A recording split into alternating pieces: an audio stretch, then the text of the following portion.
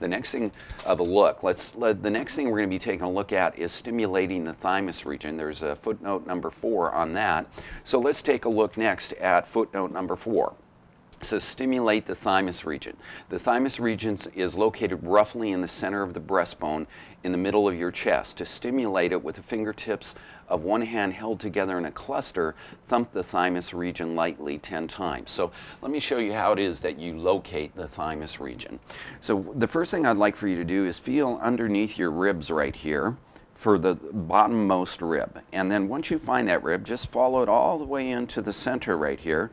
And then when you feel that notch underneath the ribs, hold that with one finger. Take your other hand and hold the finger in the hollow of your throat. Now, if you look down between these two points, approximately halfway is the thymus region.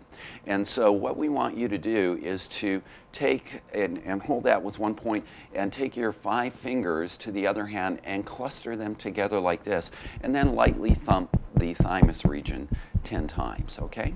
And once we get that done, that has, as Dr. Diamond says, and your body doesn't lie, that stimulates the energy regulator of the body, okay? So it's also a very healthful thing to do. You, you, if, you're, uh, um, if you pay real close attention, every once in a while you might see somebody just tapping their thymus region because what it is is, is a bit of an energy booster, okay? All right, uh, let's see what's next on the follow the yellow brick road approach. And then the next thing it says is to rotate your shoulders, slowly stretch the arms, and then rotate them again. So like we were doing uh, earlier on when we were doing jet casual testing, we start, and let me adjust the camera here. We start by uh, rotating the shoulders and then raising our hands way up above the head like that. And then nice and steady and slow and tight and feel the stretch coming down at approximately this speed and coming down, keeping that stretch nice and tight, nice and tight. You'll feel some burning in there. That's blood flow coming in. And then rotate the shoulders either frontward or backward, whichever way is more comfortable to you. Just kind of shake it up a little bit, okay? All right. So now that we have our warm-up process done, let me make sure I get my camera adjusted here again. Okay, now that we have the warm-up process done, we're going to be moving into Section number two, qualifying. It says the first thing is to review the train the brain principles. And so that is uh, one through four of document D using the bar. And that's, that's the document that you have uh, uh, studied again and again and again.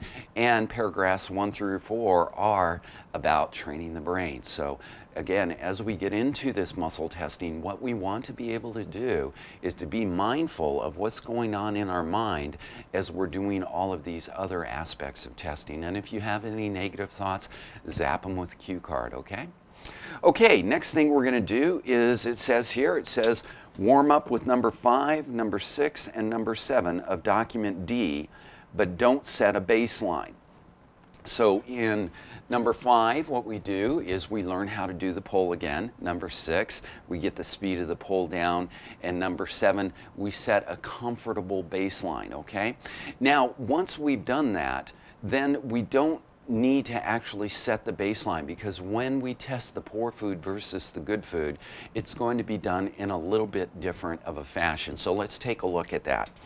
It says next, test the artificial candy and then write the reading down here. And then the line below that says test natural food and write the reading here. So let's take a look at Navigator, line number six and line number seven, and see what Navigator has to say about that.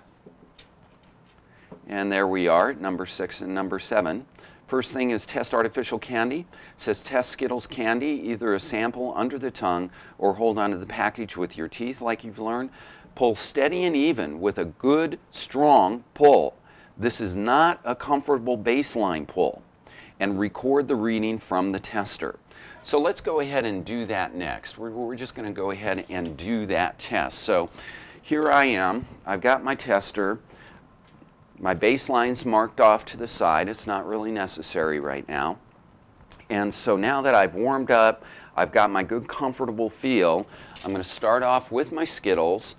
And this time, as I pull, it's going to be a good strong pull. So for me, that was about 90% of my strength.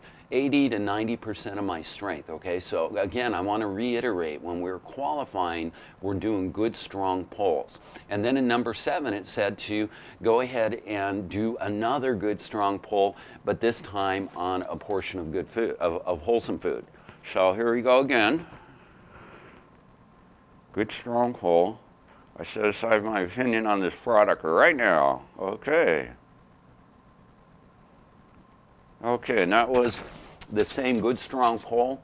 And so since I was at 180, 185 to be exact, and then on the good strong pull, on the good food, I was at about 215. I'm going to write it down right here. Okay, and so if we take a look at where we're at, here we are, artificial candy, reading of 180, natural food, reading of 215. And then the next line says, was the natural food at least 10 points higher than the candy? And we have to give that a yes. So if it's yes, then you're in a testable state and go to number three. And that would be up here, and then we got the green light go for doing whatever testing we need. But if you don't have a 10 point higher on the natural food than the candy, and, you, and that's a no, then don't test yet. Go to the adjustments down below. And of course, that's where we're headed next. So let's go ahead and talk a little bit about the adjustments. Um, the first thing to keep in mind is that if if you are in an emotionally stressed state, it's probably one of the things that are getting in the way of you having um, uh, responding appropriately on a poor food versus a good food. So the first thing to do is to settle down your mind. And in doing so, that may be just a couple of minutes of meditation or just closed eyes and deep, calm breathing and uh, perhaps um, perhaps uh, uh, putting on some music for a little bit, just de-stress a little bit, okay? And there are a couple of other things uh, for you to take a look at, and so let's go ahead and see what the Yellow Brick Road tells you to do. The, uh, the thing to keep in mind is that these remedies work about three out of four times, okay? And so we'll show you what to do if in case it doesn't work uh, for you when you use the remedies. But first of all, let's go ahead and take a look at the remedies. The first thing it says was, was your technique correct? And give more attention to your technique. And footnote number eight next to that. So let's take a look at Navigator. Often scores are skewed by a slight change to your test position. So review number five, which is document D.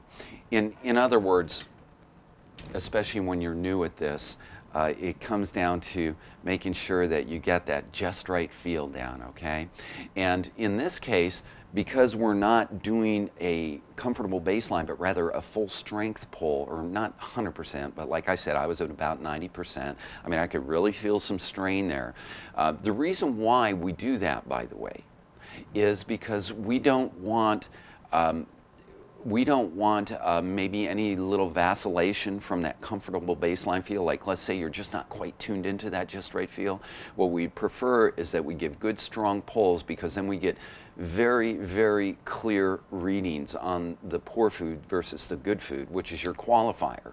Now, speaking of qualify, why is it would, would we want you to qualify for testing? Well, this is why. If you are not in a testable state, either because of blood sugar or lack of focus or stress, then your scores uh, are invalid. In fact, sometimes they can even be reversed, which is really serious because then you're making decisions to do something on you that you shouldn't be doing and vice versa. And so it's an always, always, always, always thing to do is to make sure you're in a testable state, okay?